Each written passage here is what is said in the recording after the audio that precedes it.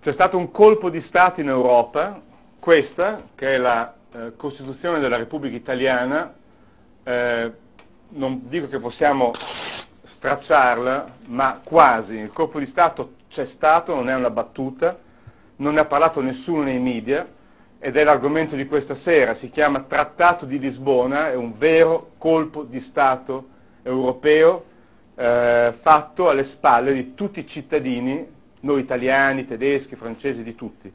Uh, l'argomento di questa sera è questo e uh, mh, voglio solo dire per chi uh, seguirà questa cosa su YouTube che l'argomento è estremamente serio se uno non è disposto, non ha la volontà di seguire un'oretta o un'oretta qualcosa di, di, di, presentazione è meglio che faccia altre cose, come mi è stato suggerito, guardi Zelig.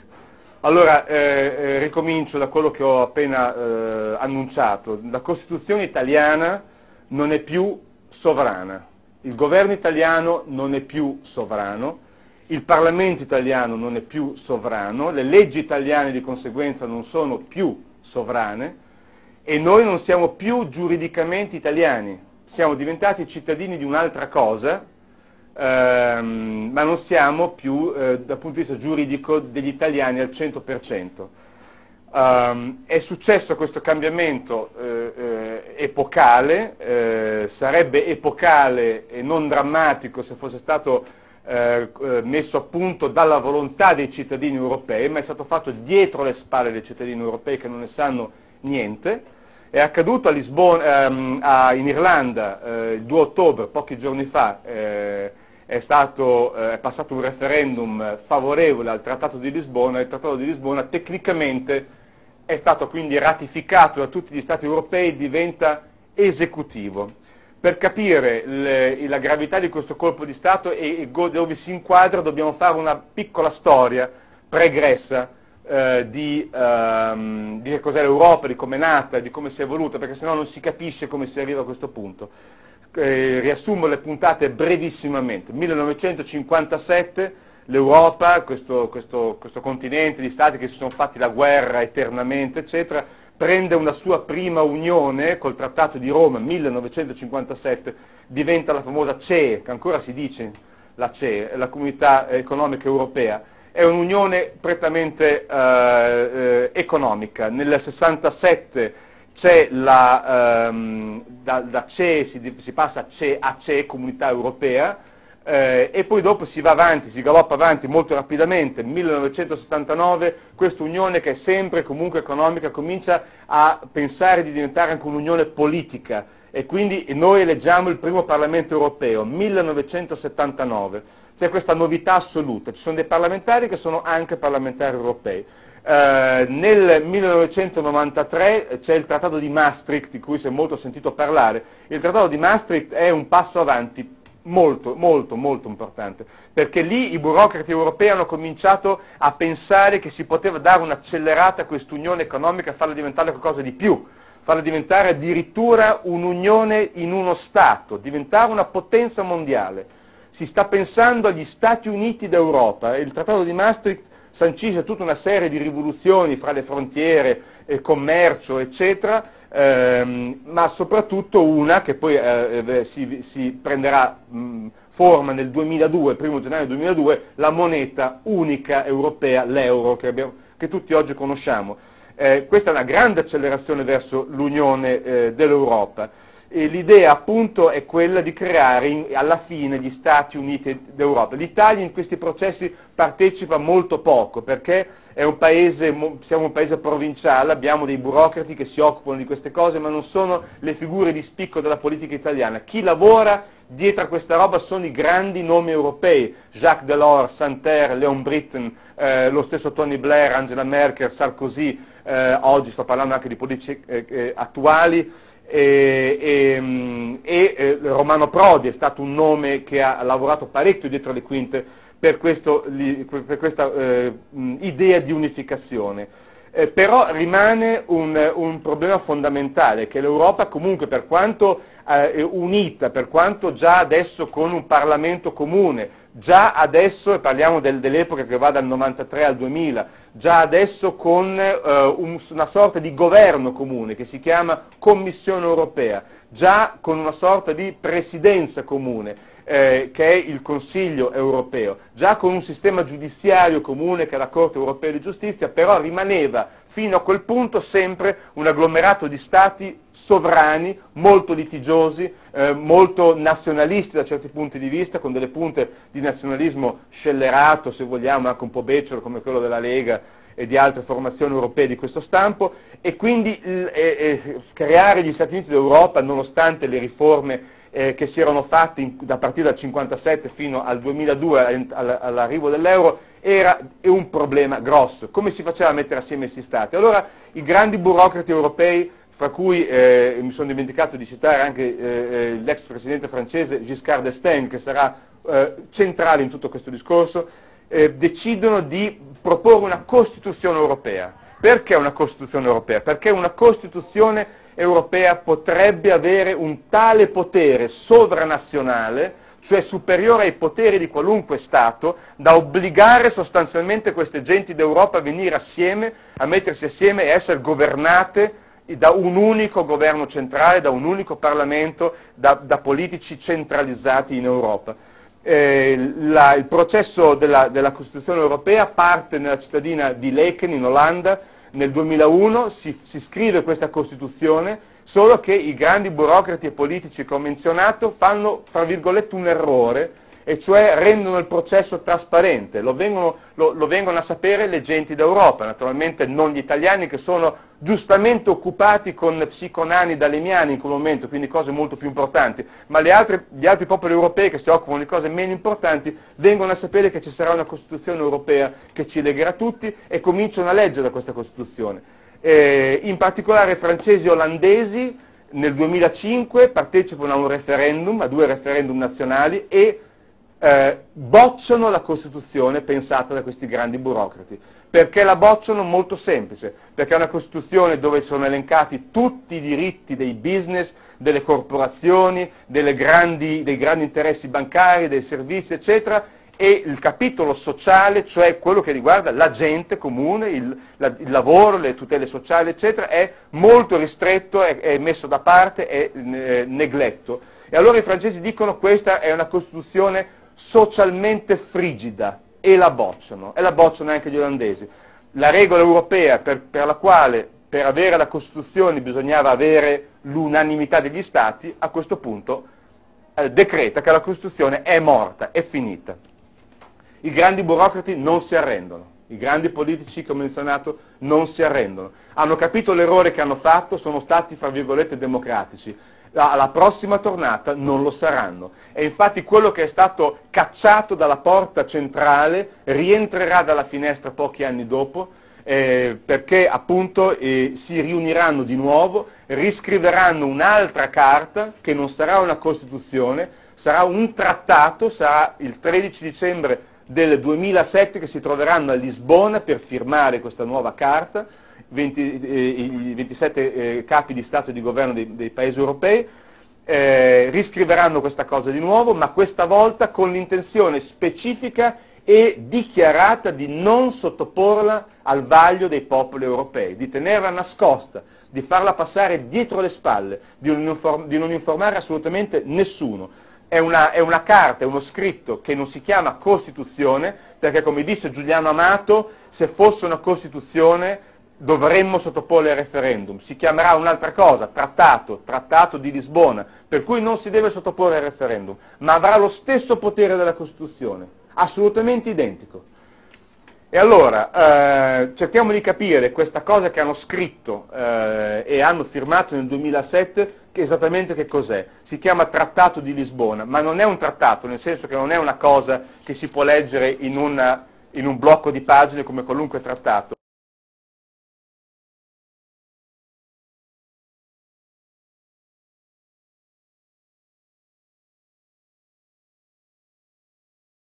È una, uh, una, modifica di trattati esistenti, i trattati fondamentali che sono il Trattato dell'Unione Europea e il Trattato del funzionamento dell'Unione Europea, a cui viene unito il Trattato di Nizza. Non vi perdete, qui siamo solamente sul tecnico, ma poi capirete, sono stati messi insieme questi trattati fondamentali del funzionamento europeo e sono state apportate a questi trattati 329 pagine di emendamenti, per un totale di 2800 pagine di regole, tutte scordinate fra di loro, quindi impossibili da leggere, nessun politico europeo di rilievo le ha mai potute leggere. E eh, questa cosa che eh, di nuovo, eh, ripeto, prende il nome di Trattato di Lisbona, avrà un potere sovranazionale, cioè superiore al potere di qualunque nazione, superiore al potere di qualunque legge di qualunque nazione, superiore al potere delle costituzioni di qualunque nazione, superiore al potere dei parlamenti di qualunque nazione, dei capi di governo di qualunque nazione.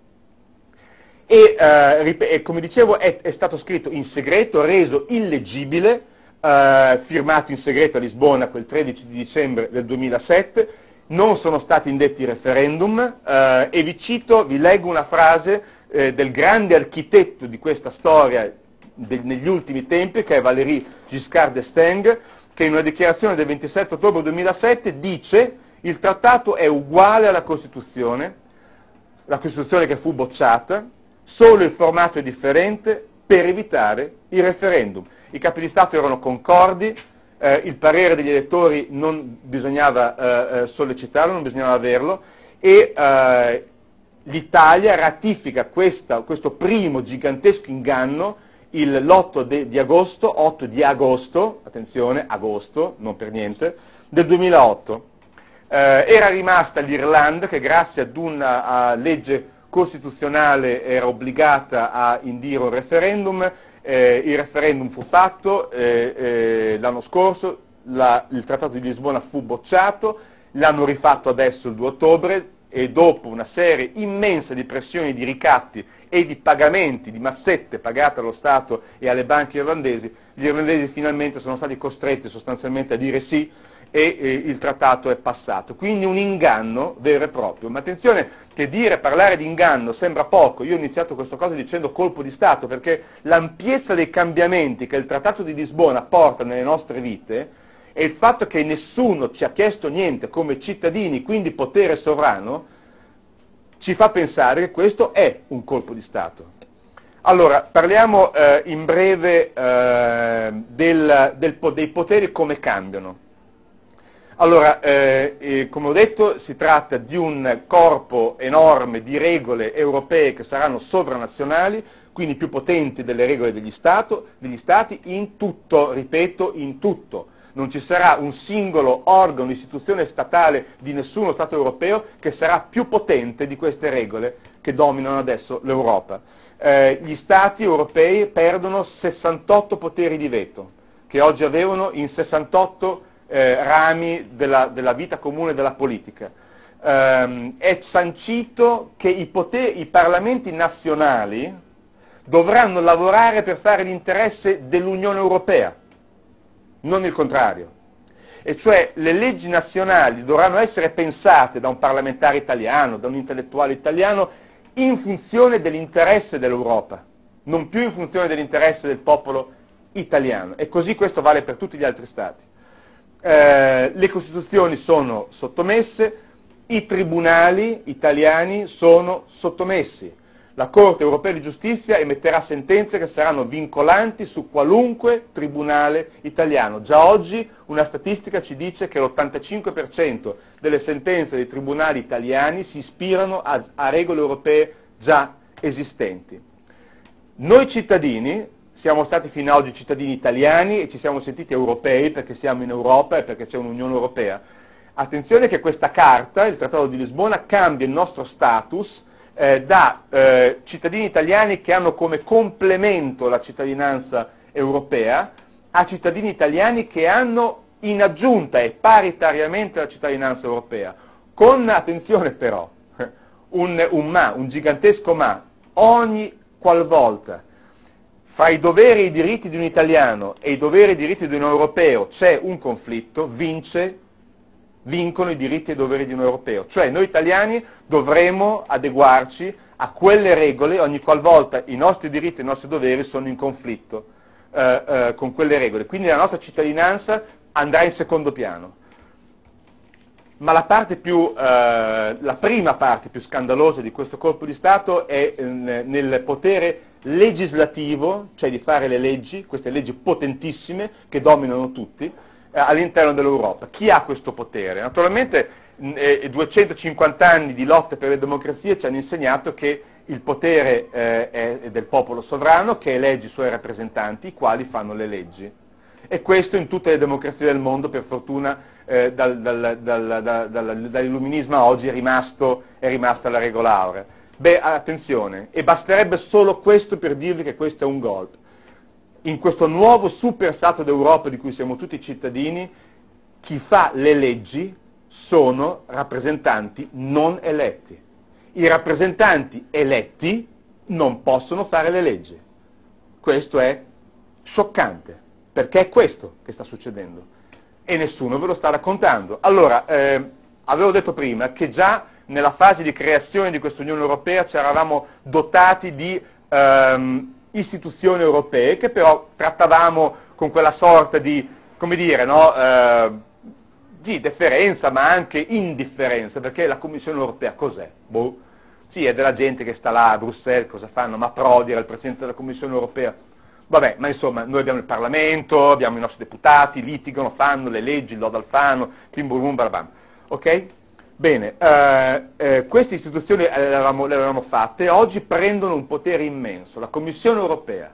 La Commissione Europea diventa l'esecutivo, il governo di questo superstato, con dei poteri enormi, assolutamente enormi, che sono poteri decisionali e di formulare le leggi e di proporre le leggi.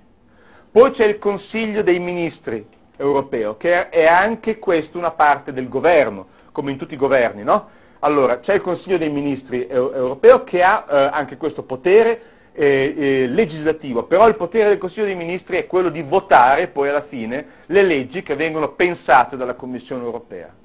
Quindi il supergoverno, la Commissione europea, pensa le leggi e le propone, il Consiglio dei Ministri le vota, ma il Consiglio dei Ministri non è, non è molto di più di un, di un di un timbro, perché ha discusso negli ultimi anni solamente il 15% delle leggi che eh, sono state passate dalla Commissione europea. In genere le fanno passare così di routine, cioè nel senso che la Commissione europea propone, il Consiglio dei Ministri dà per scontato che va bene e le fa passare. Arriviamo al Parlamento europeo, e qui veramente le note sono dolenti. Su tutti i giornali, inclusi i capolavori come Repubblica, Corriere della Sera, vi è stato detto che, che con questa nuova Europa il Parlamento europeo prende nuovi poteri. È una balla, è veramente una mistificazione vergognosa. Il Parlamento europeo in questa nuova Europa perde poteri, perché eh, perde eh, non solo, eh, perde, non ha mai avuto, non solo comunque continua a non avere il potere di fare le leggi. Pensate, un Parlamento che non può fare le leggi è come un chirurgo che non può prendere in mano un bisturi è esattamente la stessa cosa, cioè un'aberrazione, d'accordo? Il Parlamento non può proporre le leggi e non può neppure approvarle. Allora, il Parlamento europeo perde eh, potere eh, decisionale, comunque consultivo, su 21 settori cruciali della eh, politica europea e guadagna, eh, eh, diciamo, si è detto, si è scritto sul giornale, che guadagna in, eh, influenza su diverse altre aree ma è un contentino. È veramente un contentino perché i 21 poteri che perde sono cruciali, fondamentali. Le aree che guadagna sono aree marginali nelle quali il Parlamento europeo comunque non ha potere decisionale se non assieme al Consiglio dei Ministri. Quindi nelle aree che sono guadagnate di competenza del Parlamento europeo c'è però la regola che il Parlamento europeo può decidere solamente se dice di sì anche il Consiglio dei Ministri. Allora, ehm, se il Parlamento europeo eh, prende in mano una legge della eh, Commissione europea, che è il supergoverno, ripeto, e dice non mi piace, che poteri ha il Parlamento europeo di rigettarla? Come può succedere eh, democraticamente in qualunque Parlamento che mette in minoranza una legge.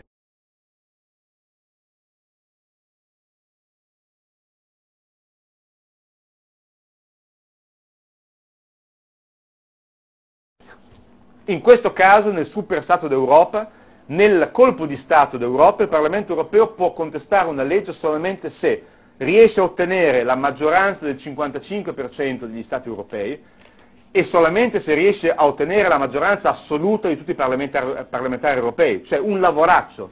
Ora io voglio attirare l'attenzione vostra su questo paradosso incredibile.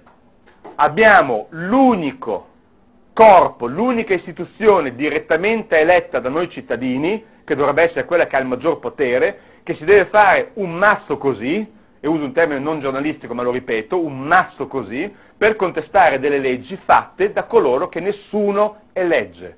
Cioè questo è un paradosso capolavoro del Trattato di Lisbona. È una roba da, veramente incredibile, no? Dice, ma non è possibile che succeda una cosa del genere e nessuno lo sa. E sta succedendo. Poi un'altra cosa eh, rispetto al potere legislativo, c'è un principio che, di cui si parla molto in Europa che è il principio di sussidiarietà che sembra una cosa molto difficile, ma si spiega in maniera molto semplice, molto controverso. Significa questo che c'è una, una regola all'interno del, del, del, Trattato di Lisbona che era già in, in, eh, in, in, vigore prima, secondo cui nel momento in cui c'è una, dire, un conflitto di competenze fra uno Stato europeo e l'Unione Europea, e questo nuovo superstato, vince chi dei due è più competente in materia. Questa è una regola assolutamente kafkiana. Allora, io a un certo punto come Stato io dico, ma mm, mm, no, io qua eh, metto una, un paletto, no, non mi va questa cosa. L'Unione, L'Unione Europea dice, no, invece a noi va. Allora, chi è che ha diritto di decidere qui a questo punto? Secondo il principio di sussidiarietà decide chi è più competente, ma chi lo decide chi è più competente? Lo decide l'Europa. E alla fine dei conti gli Stati andranno sempre in minoranza. Um, quindi, eh, per chiudere questo capitolo di chi fa le leggi, la Commissione europea emerge da, da, da questo nuovo stato di cose nel super stato d'Europa come un corpo assolutamente di un potere stra- straordinario, un, è il boss, è il capo, è il potere dominante e, ripeto, nessuno elegge la Commissione europea direttamente. La Commissione europea è formata da burocrati che sono nominati dai eh, capi di Stato e di governo, ha delle, delle, dei, delle, delle sottocommissioni che lavorano, sapete quante sono? 3.000. 3.000 commissioni di burocrati che lavorano per la Commissione europea e che disegnano tutte queste regole e queste leggi. Quindi nessuno di noi ha direttamente eletto questi personaggi che emergono come i principi assoluti, gli imperatori d'Europa. E faranno le nostre leggi e ci governeranno. Poi, in aggiunta, per concludere il discorso eh, eh, dei poteri, um, c'è il, la presidenza che ho menzionato prima. Prima vi avevo detto, e lo ripeto, che già l'Europa ha una presidenza che si chiama Consiglio europeo, già l'Europa ha appunto un governo che si chiama Commissione europea, l'Europa ha un Parlamento e l'Europa ha un sistema giudiziario che è la Corte europea di giustizia.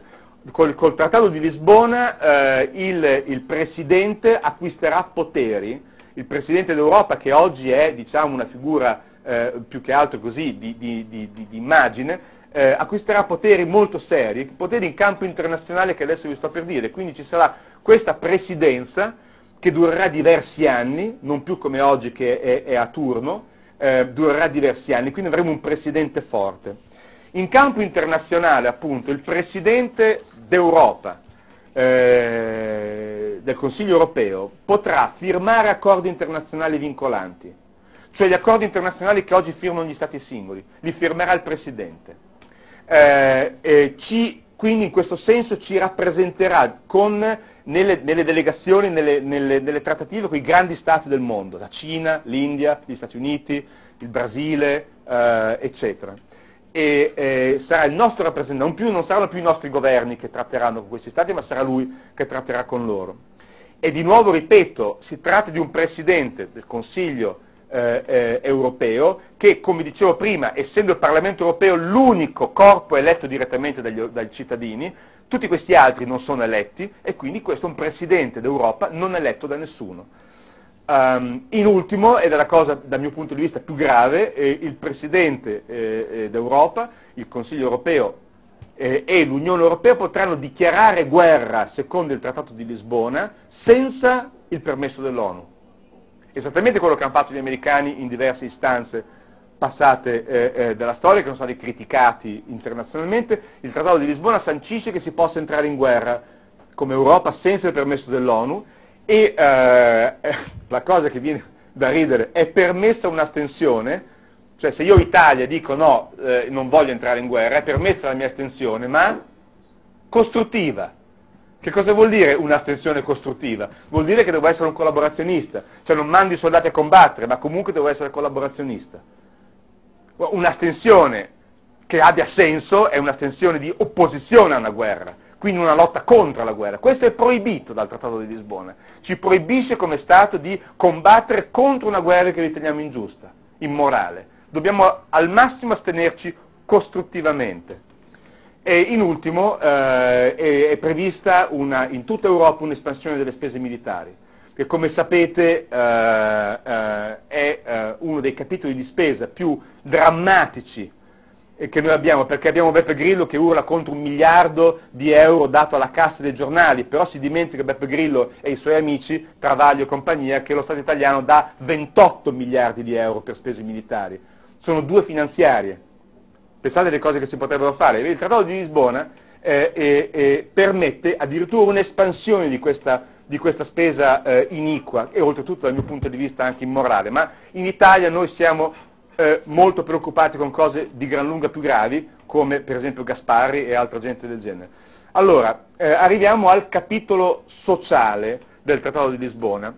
Come ho detto prima, il, il, il capitolo delle leggi e dei poteri è eh, uno dei capitoli gravi, questo è ancora più grave. Il capitolo sociale del Trattato di Lisbona è il motivo per cui la Costituzione europea fu rigettata dai francesi e dagli olandesi, Costituzione europea, ripeto, copiata fotocopia nel Trattato di Lisbona, che viene riproposto dalla, cacciato dalla porta eh, principale rientra dalla finestra in maniera illegale eh, e illiberale. Bene, il, il capitolo sociale rimane esattamente quello della Costituzione europea, quindi un capitolo sociale, come dissero i francesi, frigido.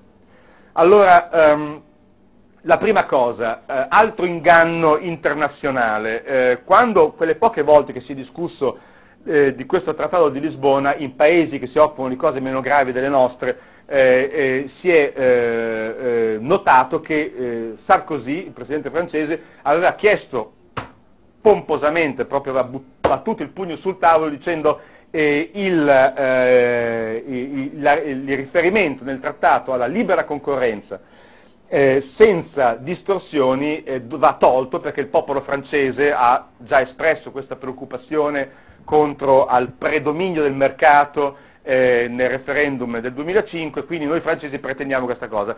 E eh, questo andò su tutti i giornali, si disse, beh vedete in fondo no, il Presidente francese si è espresso a favore dei diritti dei cittadini, quindi il Trattato di Lisbona non è male. Uh, questa cosa è naturalmente una falsità, è stata tutta una, una scenetta, una sceneggiata, eh, il eh, riferimento nel Trattato di Lisbona alla libera concorrenza senza distorsioni come tutto il resto era uscito dalla porta ed è rientrato dalla finestra, perché lo troviamo pari pari in un protocollo che si chiama protocollo 6.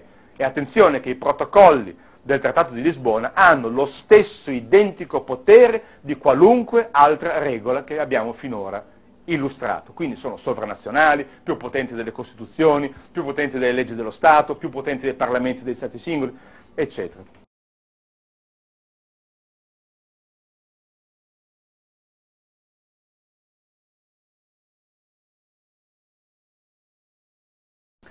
Perché sottolineo questo discorso della libera concorrenza senza distorsioni? Mi perdonino. Perché non è un, un dettaglio da poco. Quando parliamo di una Costituzione dei cittadini europei e parliamo di libera concorrenza senza distorsioni, sapete di cosa stiamo parlando? Stiamo parlando del fatto che il Trattato di Lisbona riporta in auge un principio di gestione della nostra vita che passa per privatizzazioni selvagge, cioè la svendita a due lire di quello che noi per generazione abbiamo pagato con le nostre tasse. Gli esempi li abbiamo avuti davanti agli occhi di tutti. Eh, eh, la precarizzazione del lavoro più selvaggia, anche lì gli esempi non, non, vanno neanche citati, parlano da soli. Taglia le spese sociali a destra e a sinistra, sanità, eh, assistenza agli handicappati, eh, eh, strade, eh, infrastrutture, eccetera. Speculazioni commerciali e finanziarie, beh, non, non, dobbiamo neppure commentare qui, quello che è successo con la crisi economica mondiale, frutto appunto di leggi di speculazione, eh, leggi che permettevano la speculazione selvaggia, eh, sono un esempio più che chiaro. Allora, la libera concorrenza e eh, eh senza distorsioni significa sancire la sacralità di questi principi che noi stiamo soffrendo tutti i giorni sulla nostra vita, la nostra vita vera, reale, concreta, di italiani, non così teorie e soprattutto eh, eh, la, la, libera concorrenza senza eh, distorsioni eh, sancisce una delle più grandi ipocrisie e farse della storia economica moderna, che è quello che viene chiamato eh, eh, in genere il capitalismo per i poveri e il socialismo per i ricchi, cioè quel sistema secondo cui eh, a, a noi, mettere, noi, persone eh, dobbiamo mettere in pratica tutte le regole del capitalismo, quindi permettere le privatizzazioni, eh, eh, precarizzare il lavoro, eccetera, andare a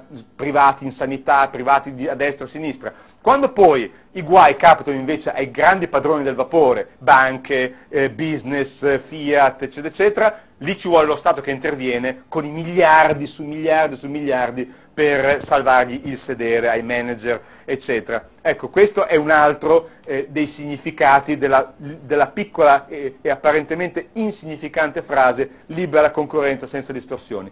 Allora, questo mostro rientra nel Trattato di Lisbona con tutti i poteri che abbiamo detto. Eh, ancora nel capitolo sociale eh, si parla nel Trattato di Lisbona dell'espansione dell'agricoltura europea, che è già finanziata con un miliardo di euro al giorno di nostri soldi, perché se no non riesce a stare in piedi. Si parla di questo, però non si dice una parola nel Trattato di Lisbona né sulle tutele dei braccianti dei lavoratori dell'agricoltura europea, né sull'impatto ambientale, neanche una parola di tutela di questo. Um, diritto di sciopero, viene vietato lo sciopero nel Trattato di Lisbona se impedisce la libera circolazione dei servizi. Questa è una clausola, guardate che queste sono clausole che poi vengono prese portati in tribunale dalle grandi corporazioni, i giudici decidono in base a questa roba qui. Quindi se tu hai fatto sciopero all'Anfas di Bologna e loro ti rispondono tu non puoi fare sciopero perché in questo modo impedisci la, la, la circolazione di un servizio, ti hanno legato le mani. È da, è da lì è da qua, è da questa roba qui che vengono queste regole infami, che già oggi sono presenti in Italia. Quindi vietato scioperare se questo ostacola la libera circolazione di un servizio. Vietato eh, scioperare se nella nuova Europa, degli, nel nuovo Stati Uniti d'Europa, se un'altra, un'azienda di una nazione va in un altro posto, in un'azienda polacca viene in Italia e paghi i lavoratori che lavorano in Italia per questa azienda lo stesso stipendio dei polacchi, quindi una miseria. No, i, questi, questi, operai non possono più scioperare in questo caso. Succede ed è già successo che aziende di, di, di Stati dove stipendi, gli stipendi e le contrattazioni sono più basse trasferiscono i loro affari da un'altra parte e, e per esempio in Irlanda in Italia in Francia e già lì tentano di pagare i loro lavoratori esattamente quello che li pagherebbero in Polonia o in Cecoslovacchia. Quei lavoratori in Irlanda, in Italia, in Spagna, vogliono scioperare, non potranno più farlo secondo il Trattato di Lisbona. Allora, eh, ancora, capitolo sociale, i, negli appalti pubblici, gli appalti pubblici che tutti noi eh, comuni, regioni, eccetera, possiamo gestire. Beh, eh, eh in, in alcuni appalti pubblici saranno vietate le contrattazioni salariali raggiunte dai sindacati, perché questo è considerato un ostacolo alla libera concorrenza senza distorsioni. Quindi si potranno impugnare già dei risultati salariali, sindacali, eh, già ottenuti da tempo. Um, nella salute il, i diritti dei pazienti sono stati iscritti non nel capitolo sanità, che è anche quello da vedere, tutto interessante, ma eh, nel capitolo del mercato interno. Allora attenzione, quando parliamo di diritti dei pazienti parliamo eh, di diritto a alle cure salvavita, parliamo dei, dei, diritti fondamentali della tutela della salute. Se questi diritti vengono presi, portati fuori da una Costituzione per i cittadini, che non lo è, ma e messi dentro le regole del, del, del, del mercato interno, vuol dire che questi diritti saranno assoggettati alle regole del mercato. E questo è già di per sé un'altra delle aberrazioni del Trattato di Lisbona. Um, se un, un, uno Stato di questo nuovo Stati Uniti d'Europa vuole fare una politica occupazionale usando spesa pubblica, cioè fare quello che fece Roosevelt in America nel New Deal, che disse va bene, spendiamo soldi pubblici, ma salviamo l'economia banca, che sta crollando, salviamo le famiglie, salviamo gli stipendi, salviamo la gente dalla fame, creiamo posti di lavoro pubblici per recuperare ridare dinamismo all'economia. Se questo venisse un giorno deciso da un qualunque Stato europeo, non potrà più farlo, viene vietato. Quindi un altro capitolo importante del capitolo sociale che viene a mancare grazie al Trattato di Lisbona. Um, il, eh, se uno Stato eh, europeo a questo punto volesse mettere in pratica un qualunque altro sistema di trattamento di favore dei propri cittadini, non può più farlo. Perché? Perché di nuovo i poteri economici che stanno naturalmente dietro a questi trattati, a queste regole e a questi colpi di Stato, dicono sono ostacoli alla libera concorrenza. Tu non puoi fare una roba per avvantaggiare i cittadini della Basilicata, perché diventa un ostacolo alla libera concorrenza. Quindi lo Stato perde l'autonomia anche lì, un altro capitolo sociale importante che viene perso col Trattato di Lisbona. Um, la Banca Centrale Europea, la grande banca per tutti i cittadini in Europa, eh, sarà in grado di imporre, già, e già lo è oggi, la stabilità dei prezzi, cioè di, di, fare, di dire viene prima la stabilità dei prezzi piuttosto che l'occupazione. Quindi di nuovo, se gli Stati dicono ma cerchiamo di favorire l'occupazione magari momentaneamente a scapito della stabilità dei prezzi e, de, e dell'equilibrio monetario, la Banca Centrale Europea potrà dire no, tu non lo fai, punto, e non si discute. Um, non esistono meccanismi nel Trattato di, di, Lisbona per ridistribuire la ricchezza. Sarebbe eh, logico in, negli Stati Uniti d'Europa, se veramente fosse un unico Stato, essere in grado di fare una cosa di questo tipo. Allora abbiamo una sacca nel nord-est che è, nel nord-ovest che è ricchissima, bene trasferiamo un po' di capitale nel sud-est, che magari un pochino meno, in modo da riequilibrare eh, il, il, il, lo Stato, in modo da funzionare un po' meglio, non avere sempre queste maledette economie a due strati, come Stati Uniti del Nord, Stati Uniti del Sud, Inghilterra del Sud, Inghilterra del Nord, Italia del Nord, Italia del Sud. Ecco, questo non è previsto dal Trattato di Lisbona, sarebbe stato un grande passo avanti per una nuova Costituzione che avesse avuto senso per i cittadini europei, non è previsto.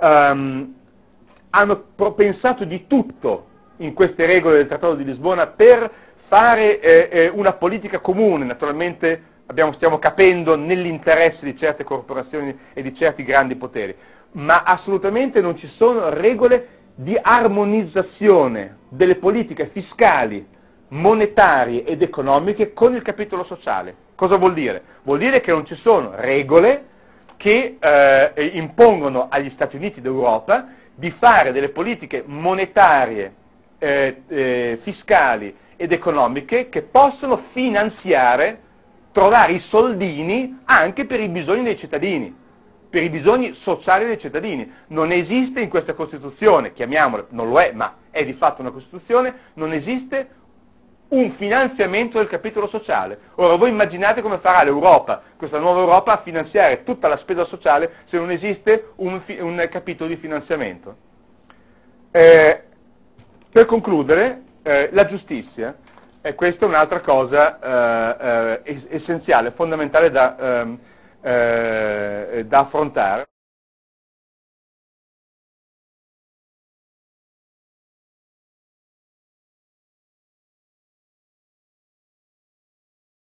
Allora, come abbiamo visto, ricapitolando, eh, ci sta delineando un'Europa eh, che, no, sta delineando, si è delineata un'Europa che ha eh, eh, dei poteri sovranazionali enormi, che eh, eh, impone delle discriminazioni sociali gravissime, assolutamente gravissime, che esautora a destra, a sinistra, parlamenti, politici, rappresentanti, eccetera, con un Parlamento che non ha nessun, sostanzialmente nessun potere reale di Parlamento ed è l'unico organo europeo eletto dai cittadini, con eh, invece delle istituzioni, dei governi non eletti da nessuno e che avranno poteri immensi, e mentre tutto questo accade, eh, ne, mh, di nuovo, appunto, eh, nessuno si ricorda che l'ultima sponda di speranza, l'ultima sarebbe nella giustizia, cioè sarebbe in un apparato legislativo che dice ferma, un momento, così come deve essere in tutti gli stati democratici, cioè abbiamo un esecutivo, abbiamo un legislativo, abbiamo un, un apparato di, eh, eh, legislativo, cioè, mh, scusate, giudiziario. Allora, devono essere indipendenti proprio perché il giudiziario potrebbe dire ferma tutto, qui non va bene. Qui non va bene, allora noi come tribunali passiamo delle sentenze che bloccano sta roba. L'ultima speranza era questa, di avere un sistema di giustizia europeo che potesse dire questo è un processo iniquo, lo blocchiamo. Ok? Anche questo è andato perduto. E questo succede mentre noi italiani eh, eh siamo eh, eh, giustamente presi, scusa, però a me fa ridere perché siamo giustamente presi, la scelta fra il PD, Beppe Grillo, eh, Brunetta, Noemi, Daddario, tutti problemi di capitale importanza, assolutamente centrali, mentre si scopre che col Trattato di Lisbona in Europa non abbiamo neanche un sistema giuridico in grado di ostacolare lo strapotere eh, di questo colpo di Stato. Infatti ehm, la Corte eh, europea di giustizia è formata da giudici che vengono nominati dai burocrati e dai politici, da essi sono dipendenti, quindi hanno un'indipendenza che fa ridere, eh, però questa Corte europea di giustizia ha un potere anche qui enorme. Pensate che sarà più potente di qualunque Cassazione, di qualunque Costituzione, di qualunque Cassazione, eh, Corte Suprema, eh, di qualunque altra alta corte esistente in qualsiasi paese europeo. Metterà eh, eh in, in, atto eh, come diciamo, struttura principale della giustizia europea la Carta dei diritti fondamentali e il Trattato di Nizza.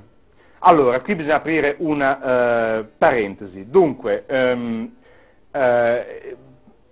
per un popolo come quello italiano, dove eh, abbiamo uh, già ormai nell'establishment delle sacche di barbarie che sono, da un, da, un, punto di vista giuridico, sono inimmaginabili, in, insomma, in fondo la Carta dei diritti fondamentali potrebbe rivelarsi anche eh, non proprio del tutto malvagia, perché vengono sanciti per esempio i diritti di prima, seconda, terza e quarta generazione, eh, i, i, diritti della dignità umana, i diritti dei carcerati, eh, viene ehm, negata la pena di morte, eh, i diritti delle minoranze, eccetera.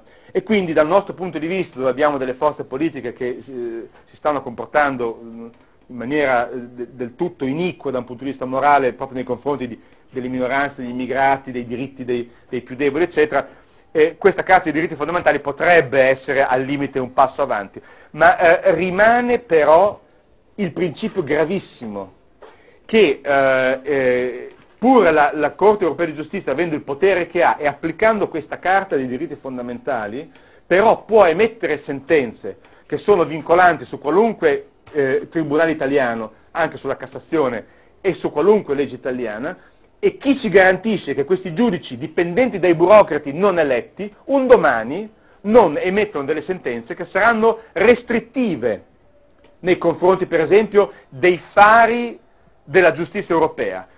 L'ho detto, in Italia, in questo piccolo, eh, diciamo, in questo, in questo settore abbiamo forse più da guadagnarci che da perdere, ma per esempio in paesi come la Danimarca, la Svezia, l'Olanda, l'Inghilterra, dove ci sono leggi che sono avanti rispetto addirittura alla media della, sancita dalla Carta dei diritti fondamentali, il, il, la Corte europea di giustizia potrebbe riportare indietro un progresso già fatto.